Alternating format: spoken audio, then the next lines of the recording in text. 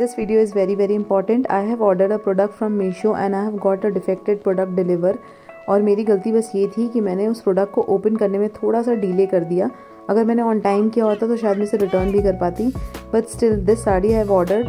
from Meesho quality wise सब चीज़ सही थी but when I measure it was just four metre cloth which is of no use so please whenever you are ordering some product please open it on on time and you open your parcel and please check the quality of everything so that आपका loss होने से बच जाए